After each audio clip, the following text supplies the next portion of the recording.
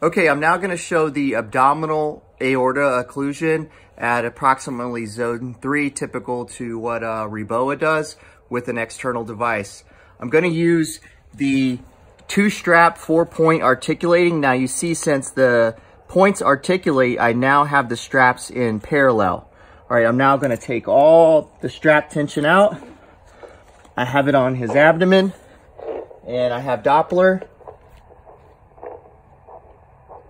and this is kind of painful to my patient so I'm gonna. And it's I have occlusion. I'm gonna release.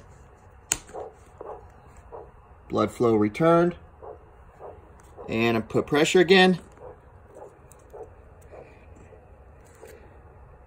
And I have occlusion. And release. And blood flow returned